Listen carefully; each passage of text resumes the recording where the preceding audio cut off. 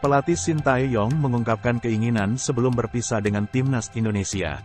Masa depan Sintayong bersama timnas Indonesia kini mulai terungkap. Pelatih asal Korea Selatan itu memberikan informasi bila kontraknya bakal berakhir seusai Piala Asia 2023.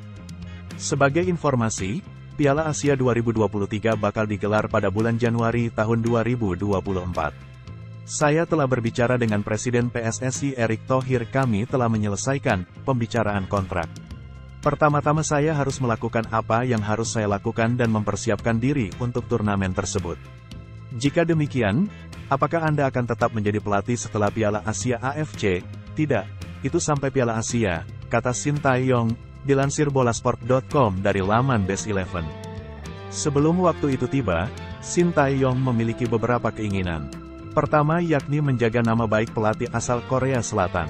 Caranya adalah dengan memberikan yang terbaik hingga akhir jabatan. Dalam hal ini, Shin Tae-yong menyinggung nama Park Hang-seo yang sempat menjadi pelatih Vietnam dan Kim Pan-gon yang kini menukangi timnas Malaysia. Pertama saya ingin memberikan kesan bahwa pelatih-pelatih Korea bekerja sangat keras di luar negeri. Pelatih Park Hang-seo sukses besar di Vietnam dan serta pelatih Malaysia Kim Pan-gon. Tetapi saya merasa bahwa pelatih Korea Selatan bekerja sangat keras untuk memenuhi tanggung jawab mereka. Di satu sisi, ini juga merupakan sebuah kebanggaan untuk mewakili Korea, tuturnya. Keinginan kedua yakni terkait hubungan bilateral Indonesia dan Korea Selatan yang sekarang sudah menginjak usia ke-50 tahun. Shin Tae-yong berniat membuat sebuah pencapaian untuk merayakan hal tersebut. Selain itu, Tahun ini menandai peringatan 50 tahun hubungan diplomatik antara Indonesia dan Korea.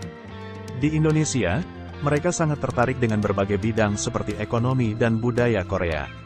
Korea adalah negara yang memiliki banyak kepentingan di dalamnya. Aku juga suka orang Korea. Jadi saya bangga menjadi pelatih timnas Indonesia.